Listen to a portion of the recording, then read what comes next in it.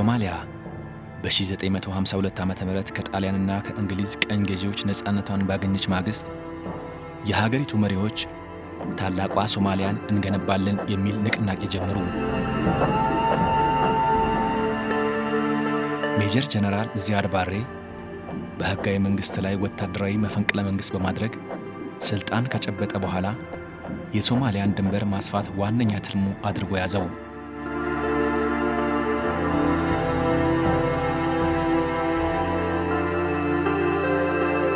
ፕሬዝዳንት ዚያድ ባሬ በ1966 ዓ ም ሶማሊያን የአረብ ሊግ እንድትቀላቀል በማድረግ ከአረብ መንግሥታት በሚያገኘው የገንዘብ ድጋፍ ጦሩን ማጠናከር ጀመረ።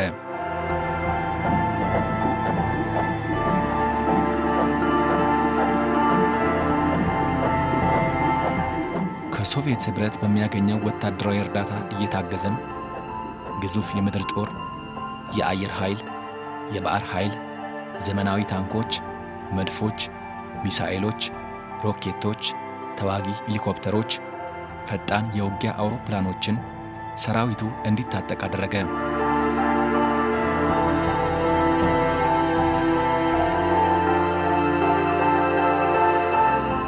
ኢትዮጵያ፣ ጅቡቲና ኬንያ የያዙትን ግዛቶች መልቀቅ አለባቸውም አለ።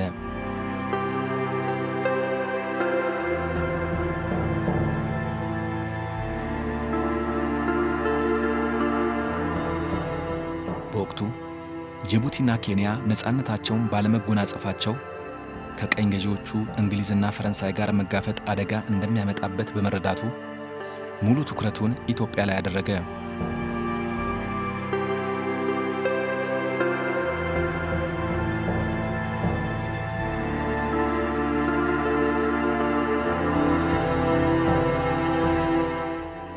ዚያድ ባሬ በተለያዩ ጊዜያት ሰርጎ ገቦችን አስታጥቆ ወደ ኢትዮጵያ ግዛት በማስገባት ፈንጅ በማፈንዳት ድንገተኛና የደፈጣ ጥቃቶችን በመፈጸም ባለሥልጣናትንና ሰላማዊ ሰዎችን አፍኖ በመውሰድ በምስራቅና ደቡብ ምስራቅ የሀገሪቱ ክፍሎች የጸጥታ ስጋት መፍጠር ጀመረ።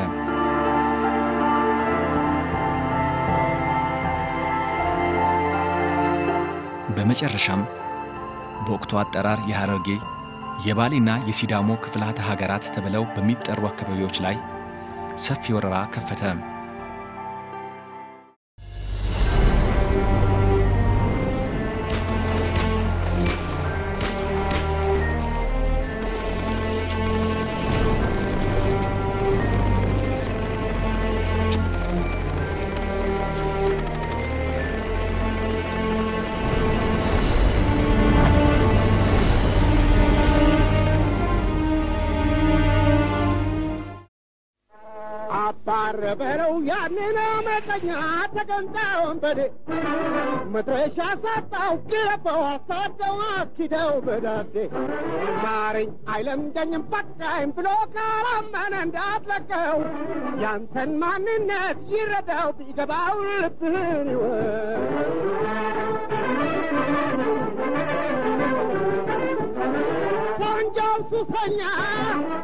የለመደ ሲጥል አየሁት የጎማመደ ነፃ አውጪው ጀግና ታጋይ ሰራዊት ለወገኑ ማር ለጠላቱ መሬት መራርቤ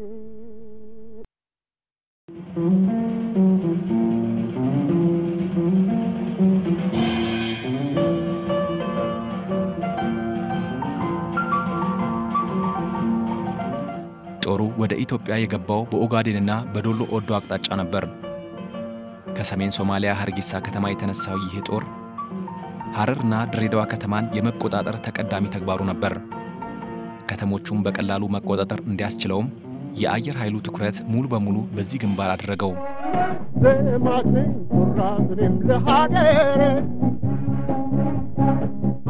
በሰራዊት ብዛትም ሆነ በትጥቅ ዝግጅት ከዚያድ ባሬ ጦር በእጅጉ የሚያንሰው የኢትዮጵያ ሰራዊት የኦጋዴንን መሬት በስልታዊ ማፈግፈግ በመልቀቅ በጅግጅጋና ጉርሱም አካባቢዎች እንዲሰፍር ተደረገ።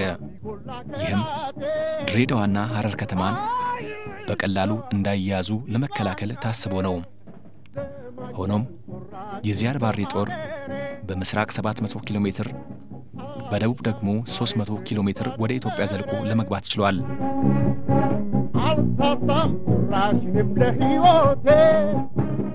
በጊዜው የኢትዮጵያ መሪ የነበሩት የደርጉ ሊቀመንበር መንግስቱ ኃይለማርያምና የሶማሊያው ዚያድ ባሬ በኩባው ፕሬዝዳንት ፊደል ካስትሮ አደራዳሪነት ለውይይት ቢቀመጡም የዚያድ ባሬ የመሬት ስጡኝ ጥያቄ በሊቀመንበር መንግስቱ ኃይለማርያም በኩል ተቀባይነት በማጣቱ ያለ ስምምነት ተለያይተዋል።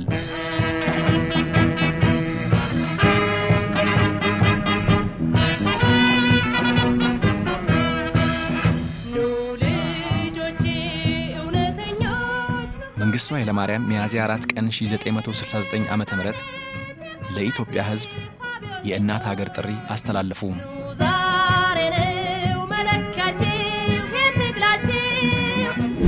መላው የኢትዮጵያ ሕዝብ ሆይ ታፍራና ተከብራ የኖረችው ኢትዮጵያ ሀገራችን ዳር ድንበርና የማይገሰሰው አንድነታችን በውጭ ኃይል እየተደፈረ ነው። በሕልውናችን ላይ የሚደረገው ወረራና ድፍረት እጅግ አሳሳቢ ሁኔታ ላይ ደርሷል። በብዙ ሺህ ዘመናት አክብሮን የኖረው አኩሪ ታሪካችን በዚህ አዲስ ትውልድ ዘመን መጉደፍ የለበትም። ሀገር ወዳድ ኢትዮጵያውያንና ኢትዮጵያውያት፣ የኢትዮጵያ ሕዝብ ሆይ ክብርህንና ነፃነትህን ለመድፈር ሀገርህን ለመቁረስ የተጀመረውን ጣልቃ ገብነትና ወረራ ከመለዮ ለባሹ ጋር ተሰልፈ ወራሪውን ለመደምሰስ የምትዘጋጅበት ጊዜ አሁን ነው። ተነስ፣ ታጠቅ፣ ተዋጋ፣ እናሸንፋለን።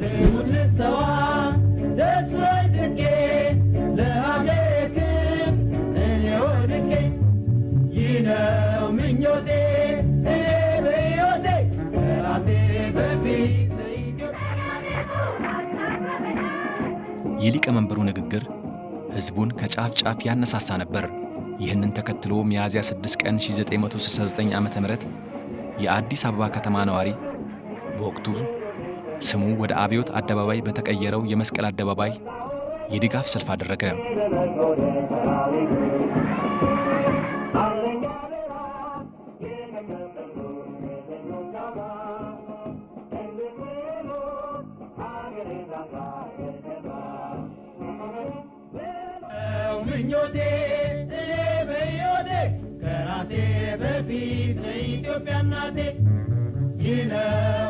የሀገሪቱን ስልጣን የያዘው የደርግ መንግስት የጦርነት ሚዛኑን ለማስተካከል በማሰብ መሳሪያ ለማግኘት ወደ አውሮፓና አሜሪካ ያደረገው ጥረት ውጤት አልባ ሆነ። ከዚያም በኋላ ኢትዮጵያ ፊቷን ወደ ሶሻሊስቱ ካምፕ በማዞር ያደረገችው የጦር መሳሪያ ፍለጋ መጀመሪያ በቻይና ቀጥሎ በሶቪየት ኅብረት አዎንታዊ ምላሽን አገኘ።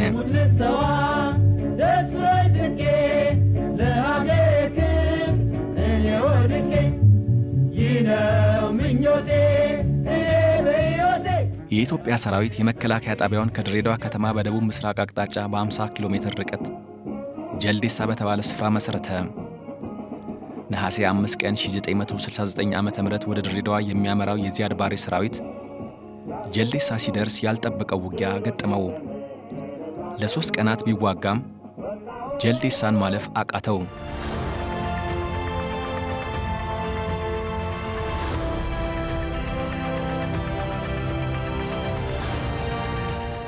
በአስር ከጠቅላይ ጽፈር በተደረገልን ጥሪ መሰረት ጠላት በሽድኔ መንገድ በኩል ድሬዳዋን ሊያጠቃ መጥቷል ተብሎ ስለተነገረን እኛም ምናልባት ዘጊ ጦር በመካከል አድርጎ ይቆርጠን ይሆናል በማለት አሁንም እንደተለመደው በእግር ካለንበት ከ25 ኪሎ ሜትር ከአመርካ ወደ ድሬዳዋ ጉዞ አመራን። በእግራችን ተጉዘን እዚህ ብቅ ማያው ላይ ስንደርስ እውነትም የጠላት ታንኮች አንዳንዶቹ በዚህ በቁልቋል ባለበት ቦታ ሲርመሰመሱ ይታዩ ነበረ። አንዳንዶቹም እንዳውም አየር ማረፊያው ላይ ሲንቀሳቀሱ ይታያል።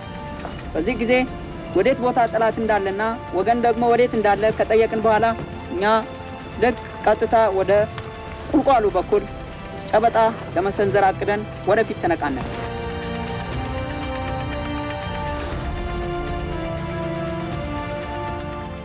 ሌላ ተጨማሪ ጦር አስመጥቶ ጥቃት ቢያደርግም ማለፍ ግን አልተቻለውም ነበር። ከፍ አለ ስሜታችን፣ ደስ አለን። የሚቀጥለውንም ታንክ እንደዚሁ የምናቃጥል መሰለን። አሁን ልክ ታንክ ባየን ቁጥር እየሮጥን ታንኮችን ማባረር ጀመር። ታንኮች በግራም በቀኝ በብዛት ስለተወጠሩና ሰው ደግሞ መሀላቸው ስለገባ የግዴታ ሰዎቹን ለማምለጥ ሲሉ በረድፍ ገብተው እነሱም መትረየስ እየተኮሱ ተጠቁን። የዚህን ጊዜ ነው የእኛ ሻለቃ አዛዥ የነበሩት ሻለቃ ከበደ አየለ ከታንክ በተተኮሰ ጥይት ተመተው ሞተዋል። ሆገን በዚህ ሰዓት ብዙ ጉዳት ደርሷል። በወገን ላይ ግን ምንም ጉዳት ቢደርስ የዛችን ቀን መስዋዕትነት አድርገን የድሬዳዋ ከተማ በጠላት ከመወረር አድነናል።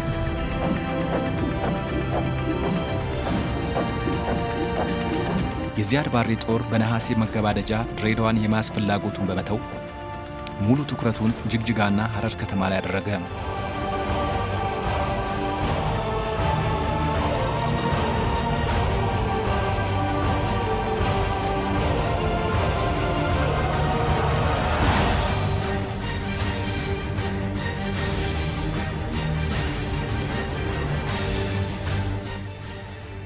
መስከረም 1970 ዓመተ ምህረት የዚያድ ባሬ ጦር ጅግጅጋን ለመያዝ ውጊያ ከፈተ። የአየር ኃይሉንም ሙሉ ትኩረት በዚህ ግንባር እንዲሆን ትዕዛዝ አስተላለፈ። ሁለት ብርጌድ ይዞ ይዋጋ የነበረው የኢትዮጵያ ሰራዊት በመሳሪያም ሆነ በሰው ኃይል ስለተበለጠ ስልታዊ ማፈግፈግ አደረገ። የዚያድ ባሬ ጦርም ጅግጅጋን ተሻግሮ ሐረርን ሙሉ በሙሉ መክበብ ቻለ።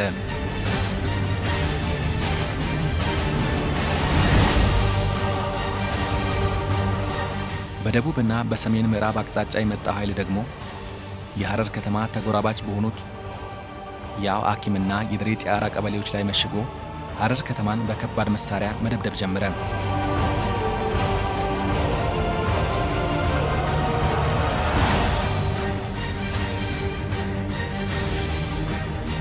አብዱላ አስተዳዋና አስተዳደሪ ክፍለ ሀገር ወጋ ጋፈተን ኑቲ አብደላ የተባለውን የቀበሌ ገበሬ ማህበር ሊቀመንበርና በቀበሌ ገበሬ ማህበራችን በመንግስት ኃላፊነት የሚሰራ አካል እንዳለ ጠየቁ።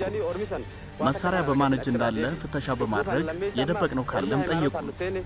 የምናውቀው ነገር እንደሌለና መሳሪያ ቢኖር እንኳ እንደማንሰጣቸው ስንነግራቸው ገበሬውን እየደበደቡ አፍነው ይዘው መሄድ ጀመሩ።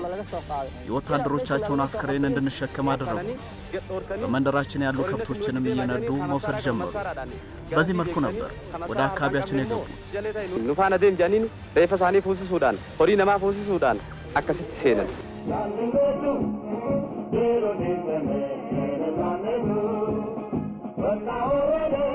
የሐረር ከተማ እንዳትያዝ የኢትዮጵያ አየር ኃይል ተጋድሎ ትልቅ ነበር። አየር ኃይሉ የአውሮፕላኖቹ ብዛት በጣት የሚቆጠሩ ቢሆንም እንኳ በአብራሪዎቹ የላቀ የተዋጊነት ችሎታ የዚያድ ባሬን ወራሪ ኃይል ከባድ መሳሪያዎች ወደ አመድነት በመቀየር ታላቅ ታሪክ ሰርቷል።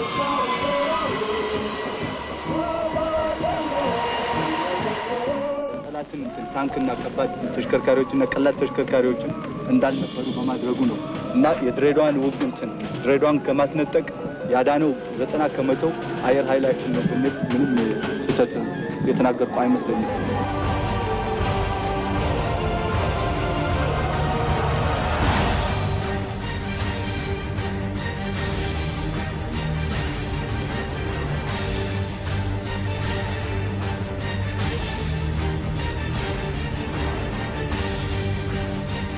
ሶቪየት ኅብረት ለኢትዮጵያ የገባችውን የጦር መሳሪያ ሽያጭ በመስከረም 1970 ዓ.ም የ385 ሚሊዮን ዶላር መሳሪያ የሚሸጥበትን ሂደት ተግባራዊ ያደረገች። በተቃራኒው በመርከቦቿ ወደ ሶማሊያ የጦር መሳሪያ ሽያጭና ነዳጅ ማጓጓዙንም አቋረጠች። አባረ በለው ያንን አመፀኛ ተቀንጣ ወንበዴ የኢትዮ ሶማሊያን የሰላም ውይይት ጥረት ሲያደርጉ የነበሩት ኩባና በወቅቱ የሶሻሊስቱ ካምፕ አካል የነበረችው ደቡብ የመንን ያካተተ ወታደራዊ ኅብረት ተመሠረተ። ኅብረቱ ከኢትዮጵያ ጎን ቆመ።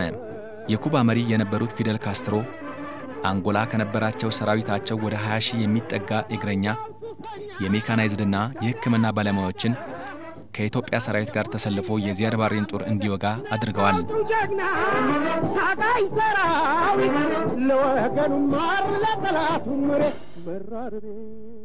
ደቡብ የመንም ሁለት ሺህ መድፈኞችን አሰማርታ ለኢትዮጵያ ድጋፍ አድርጋለች።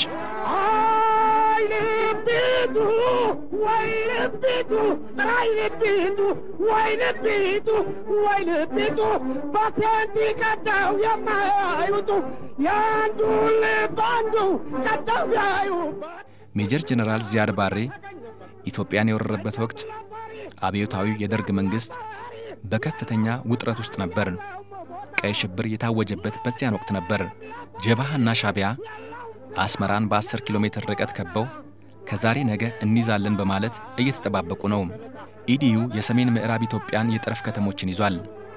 ህወሓት፣ ኦነግ፣ የአፋር ነፃ አውጪ ግንባርና ሌሎች ድርጅቶችም በደርግ መንግሥት ላይ ብረት አንስተዋል። ደርግ ያንን ሁሉ ውጥረት ተቋቁሞ የዚያድ ባሬን ጦር መመለስ ነበረበት። ያንንም አድርጓል። በዚያ ውጥረት ውስጥ ሆኖ ደርግ እንዴት ድል ቀናው የሚለው ጥያቄ የበርካቶች ነው። ብሎ ካላመነ ያጥለቀው ያንተን ማንነት ይረዳው ቢገባው ወቅ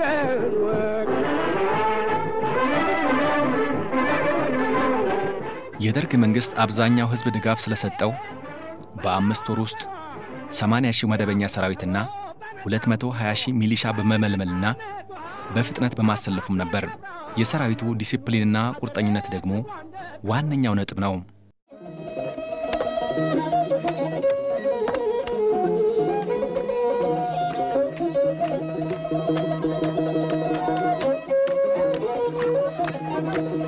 በየቀበሌው ለሰራዊቱ ቀለብ የሚያዘጋጀው ሕዝቡ ነበር። የኢትዮጵያ ሕዝብ አገሩ ስትደፈር በአንድ ላይ መቆም ያውቅበታል። ስለሌለ የሚበልጥ ምንም እንዲያ ባይሆን ኖሮ የዚያድ ባሬ ጦር መዳረሻው አዲስ አበባ በሆነ ነበር።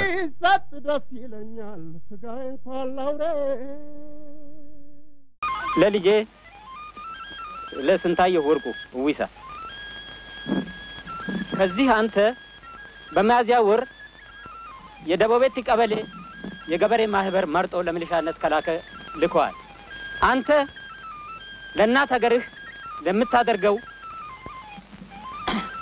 ተጋድሎ እንድትበረታበት ልጄን እለምንሃለሁ። ስለ ቤተሰብህ እና ለእናትህም ለአባትህም ለወንድሞችህም ለልጆችህም የደቦቤቲ የገበሬ ማህበር እንክብካቤውን ቀጥሎ ለእናት ሀገርህ አጥብቀህ እንድትዋጋ ነው። ከምራረው ትግል ከጀግኖች ደም ጀርባ የዚያድ ባሬ ሰራዊት ሐረርን ለመቆጣጠር ያደረገው ጥረት ከከሸፈበት በኋላ ግዛቱን ለማስፋት አልሞከረም። በያዛቸው አካባቢዎች መከላከልን ነበር የመረጠው።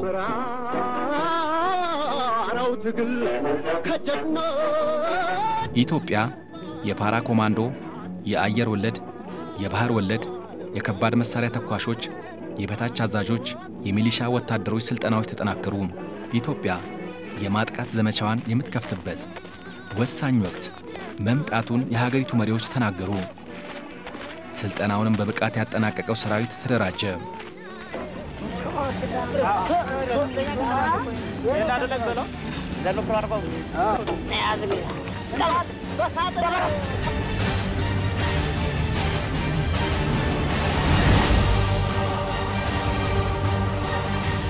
የዚያድ ባሬ ጦር በጭናክስንና በቆሬ በኩል ጅግጅጋ ላይ የተጠናከረ ጥቃት ይመጣብኛል ብሎ ባላሰብበት አቅጣጫ መወጋቱ ድንጋጤን ፈጠረበት። ጅግጅጋን ላለማጣት ጥረት አደረገ።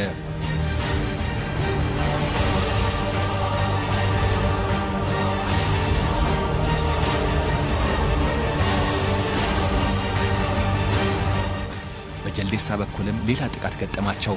የኢትዮጵያ አየር ኃይልም እስከ ሶማሊያ ግዛት በመዝለቅ የዚያድ ባሬ ሰራዊት የአቅርቦት መስመሮችን ከጥቅም ውጪ ማድረግ ጀመረ።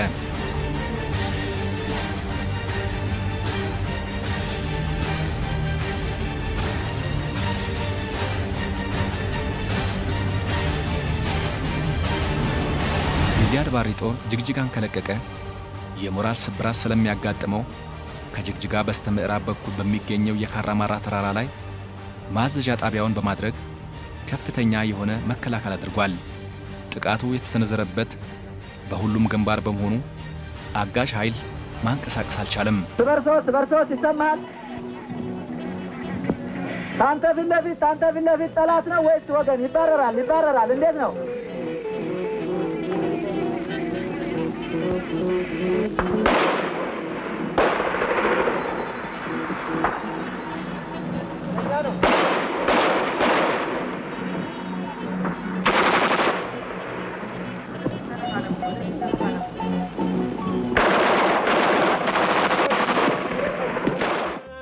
የካቲት 26 ቀን 1970 ዓ.ም በካራማራ ተራራ ላይ ከባድ ሽንፈት ገጠመው።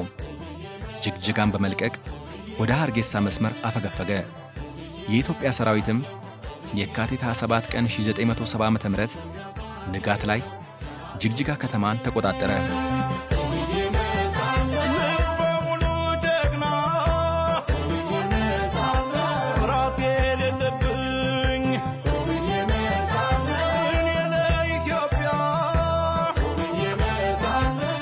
የካቲት 30 ቀን 1970 ዓ.ም ግዳጁን በማጠናቀቅም ከኢትዮ ጅቡቲ የባቡር መስመር በስተደቡብ ያሉ ከተሞችን ሙሉ በሙሉ ተቆጣጠረ። ከሐረር የተንቀሳቀሰው ጦር ደግሞ ግዳጁን በቀላሉ በመወጣት ኮምቦልቻን አልፎ እስከ ኤጀርሳ ጎሮ ድረስ ገስግሷል።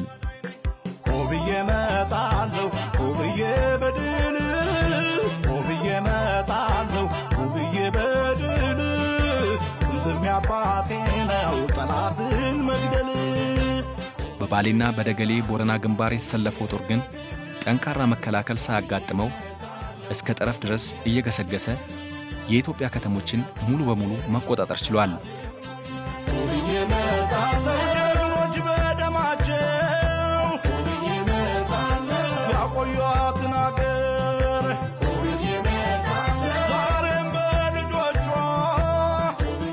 ከመጋቢት አንድ ቀን 1970 ዓ.ም ጀምሮ ሁሉም ኃይሎች ወደ ኦጋዴን አቅጣጫ ዘምተዋል።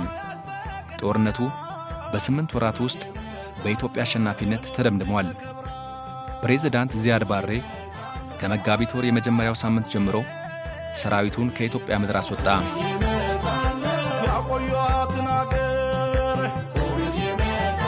ከኬንያ ከጅቡቲና ከኢትዮጵያ መሬት ይዛለው በማለት በእብሪት ተወጥሮ በውጭ ኃይሎች ግፊት ዚያድ ባሬ በኢትዮጵያ ላይ የከፈተው ወረራ ከከሸፈበት በኋላ ተቀባይነቱ እየሟሸሸ ሄደ።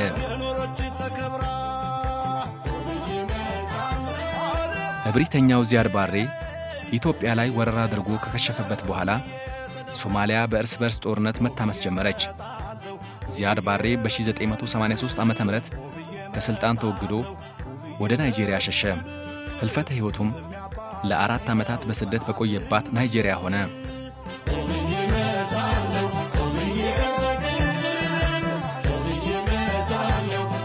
የኢትዮ ሶማሌ ጦርነት የብዙሃንን ሰላማዊ ዜጎች ሕይወት ቢቀጥፍም ኢትዮጵያውያን ጀግንነታቸውን ያሳዩበት እንደሆነ በታሪክ ይወሳል።